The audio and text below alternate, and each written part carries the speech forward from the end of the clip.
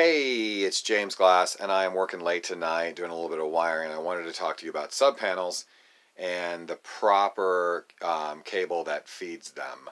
So, subpanels always get SER cable, which is uh, a cable that has four lines in it, um, and they are never, never, never bonded. The, the, the grounded conductor, the so called neutral, and the ground line are not connected together in subpanels. So let's take a quick look at that. So this is this is SER cable, and this 20 amp panel, by the way, is fed off of a 200 amp panel on the other end of the of the house. And so I have a 40 space down there that feeds all that end, and then it was actually cheaper to run this service entrance cable and put a 20 down here. So my my tiny home actually has 60 spaces, and I'll use about 50 of them because of the way that I've organized my my wiring, so it's real real neat and real logical. So this sub panel gets these two ungrounded conductors. Each one of these, line 1 and line 2, are 120 volts each.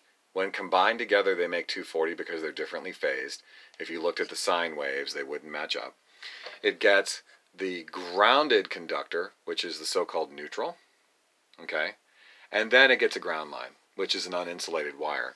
Now the ground bus down here, it's got all those green screws in it. You can double tap those babies. You can put two in each one of those. That's why it's shorter. But the neutral bus, you can only put one wire under each. So this bus and this bus are connected via this bar. And it's insulated there. So if you have, you know, just so anything, there's a little, there's a little sleeve on it that insulates it. So power will come in to this. And by the way, because this panel is more than six feet away from the panel that feeds it, it's got a main breaker, so you can turn the power off here. And power will come in line one and line two. They'll be distributed down this, this bus here. Every other one is a differently phased 120. So if you put a two-pole breaker in, you'll get 240. And that's hot and goes out to all whatever you need. You know, whatever receptacles, lights, and blah blah blah. This you know, heaters, whatever, heat pump, whatever. And then for the 120 volt circuits, any leftover electricity, the milliamps will go back this grounded conductor. And this this and and the ground line will be bonded at the main panel, which is by the meter, and that'll go to ground rods in the ground.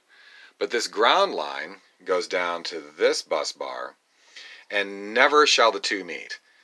This panel could be made into a main panel. They do provide a provision for it where you can run a bonding screw from this from this lug that touches the back of the box, and you could bond the the neutral, the the grounded conductor, and the ground.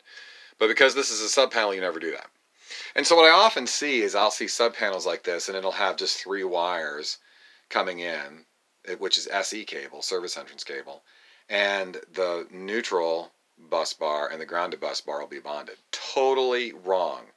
In the sub panel, every sub panel, the ground circuit, that's the emergency circuit that only conducts electricity if you've got a problem, and the neutral, the grounded conductor, are never combined. Cannot stress that much.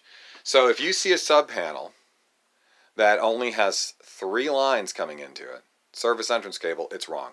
Unless it's really super, super old back in the days before, you know, I mean, there's some really old stuff out there before grounding. But in, in the last more than a generation, since the 90s, every sub panel is, at least since the 90s, and in some cases even farther back than that, every single sub panel is going to have SER cable. So look for that. Hey, thanks for watching.